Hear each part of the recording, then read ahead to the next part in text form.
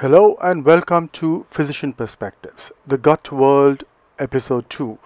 Here I'd like to talk about a very important tissue in the gut called as the gut associated lymphoid tissue or GALT.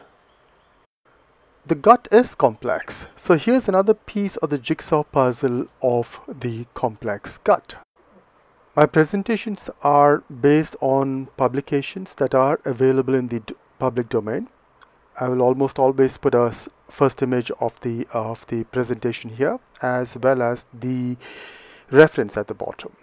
Now this is an interesting publication from 2020 on the anatomical uniqueness of the mucosal immune system. Now what we have to understand is that the digestive and respiratory tracts are continuously exposed to antigens, commensals and pathogens present in the lumen that can sometimes cross the mucosal epithelium. Now, a barrier is therefore necessary for the nutrient acquisition in the gut from food and for gas exchange in the respiratory tract from the air we breathe. Now, the exposure of the mucosal surface to exogenous materials also makes them a port of entry for potentially pathogenic organisms or even pathogenic or uh, uh, what you call as antigens that can cause harm to the body. As a result, the immune system devotes enormous resources to the defense of such mucosal surfaces.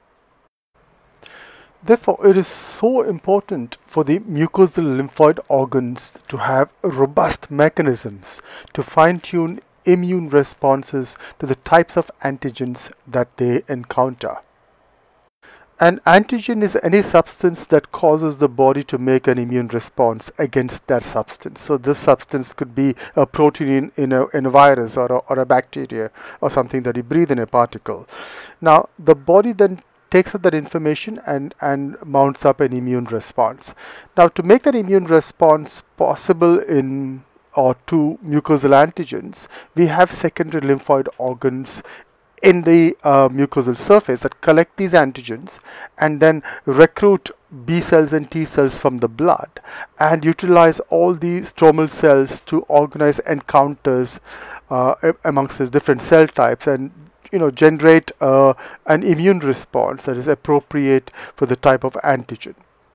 Therefore, in the gut, the inductive tissues or gut associated lymphoid tissue GALT are inductive sites for adaptive immune responses to gut derived antigens.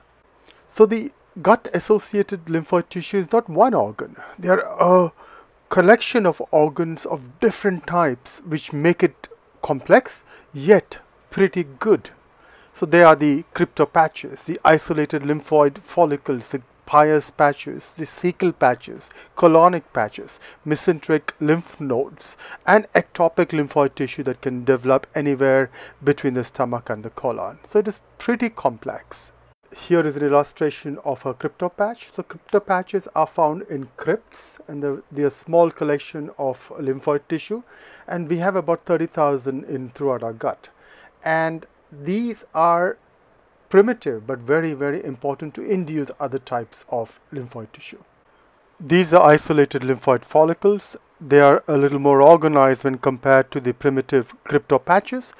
Not as organized as Peyer's patches but somewhere in between. These are Peyer's patches, a lot more organized when compared to the previous two. Peyer's patches are the largest of the uh, gut associated or the mucosa uh, associated lymphoid tissue and they're found in the small intestine, colon and the cecum. An important cell in these patches is something called as an M cell. I'll talk about it sometime later in some other presentation, but these M cells are very important for presenting the antigens that come from the gut. So in this paper, human gut associated lymphoid tissues diversity, structure and function.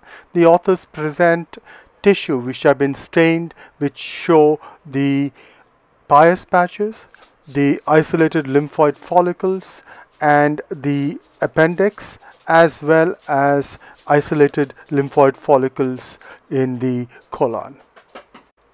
let's get into the functions of the GALT in the next few episodes. Thank you for watching.